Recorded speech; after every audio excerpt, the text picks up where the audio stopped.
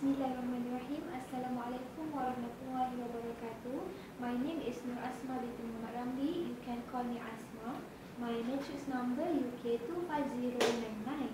Here's the answer to question 1A. I'm answering this from my knowledge and experience as an employee at Maxi Center at Kuala Lumpur. From my personal opinions, I think target and commitment play a major role in order to improve work performance.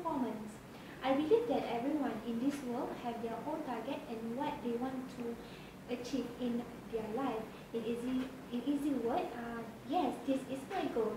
People, when we have a clear goals, this show that we start to um, plan our target and it means you, we know where we want to go.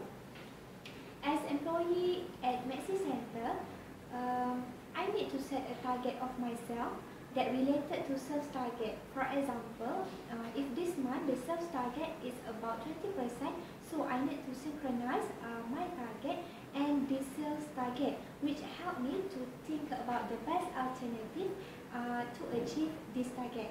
Believe me people, if you have no target, you have no goal and yet your life journey is always in ordinary journey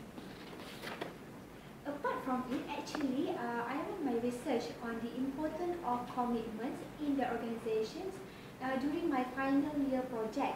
There are many uh, findings from the res previous researchers show that there are significant relation between commitment and employees' uh, performance. Just imagine, in our daily life, uh, we have many commitments that we have to commit. Am I right? Such as the commitment uh, with our parents, organizations, up our target. Remember, uh, and to achieve it, we need to commit it. In easy words, we need to blend the target and commitment together to produce a best result as well as best performance.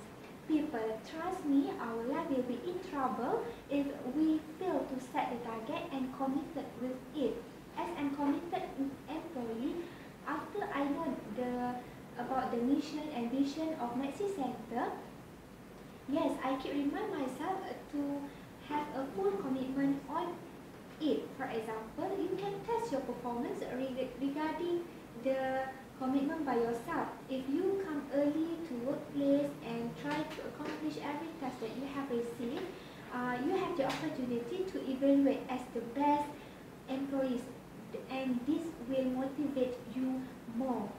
Uh, so bear in mind target and commitment is the best contributor to improve our performance. That's all from me. Thank you.